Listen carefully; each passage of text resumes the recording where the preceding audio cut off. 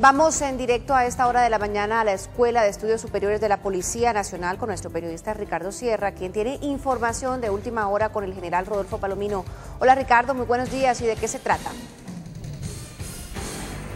Carolina, buenos días. Pues mire, el director de la Policía Nacional, el general Rodolfo Palomino, se estará eh, dirigiendo en minutos frente a este último resultado propinado a una recurrente modalidad de secuestro, el secuestro express. Esto fue en el sector del Guamo, en el departamento del Tolima. Cuatro personas, cuatro secuestradores fueron capturados y tres personas fueron rescatadas. ¿Qué era lo que sucedía allí? Cuentan las autoridades que estas personas ponían cita, digamos, a sus víctimas y con diferentes excusas los secuestraban y llamaban a sus familias a pedir dinero. Exigían pues varias sumas, digamos, era un secuestro express porque era muy rápido, recibían una pequeña suma o la cantidad de dinero que exigían a las personas y automáticamente ponían en libertad a los secuestrados. La policía dice que esta modalidad equivale al 60% de secuestros en el país, pero también pudimos confirmar que este tipo de casos ha disminuido en un 59%, pasando de 39 en el 2013 a 16 en lo que va corrido del año en este 2014. Es toda la información que tenemos desde el norte de Bogotá. Continúe usted con más información.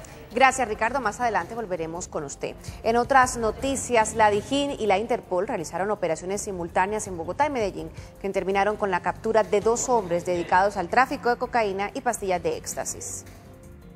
Estas son las imágenes de la ocupación por parte del Grupo de Extinción de Dominio y Lavado de Activos de la Dijín a 12 bienes de propiedad de José Rosario Gamarra Sierra, representante a la Cámara por Magdalena, avaluados en 7.750 millones de pesos. Dos lotes, tres fincas, dos apartamentos, tres casas, un garaje y una oficina, ubicados en Santa Marta, Fundación Ciénaga, Plata Magdalena y Barranquilla.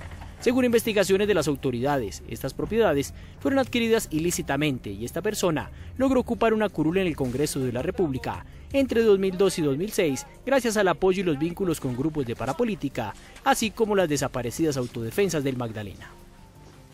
Y me despido con esta cifra. En Bogotá, la Secretaría de Educación del Distrito reconoció que actualmente en la capital hay 43 mil niños y niñas entre los 5 y 16 años de edad que no están estudiando.